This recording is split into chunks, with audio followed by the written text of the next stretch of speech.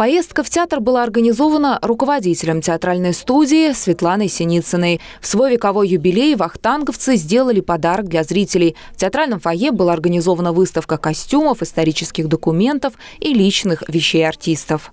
Спектакль «Турандот», который дошел до наших, практически до наших дней, совсем не так давно, не играется на сцене а, Вахтанговского театра. Вот мы видим костюм Юлии Борисовой в роли принцессы Турандот.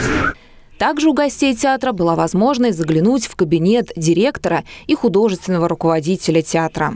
Ваш кабинет, он был таким, э, Всегда. когда вы 10 лет назад? Всегда. Это- да? В этом кабинете с 1949 года всегда работал директор театра. Участникам активного долголетия удалось встретиться с легендами театра и кино. Артисты фотографировались, отвечали на вопросы, давали автографы своим поклонникам. Напоминаем, что занятия актерским мастерством в рамках губернаторской программы «Активное долголетие» проходят два раза в неделю по вторникам и четвергам на базе кинотеатра «Искра». Стать участником студии может любой желающий. Наталья Буслаева, Елена Кошелева, Видное ТВ.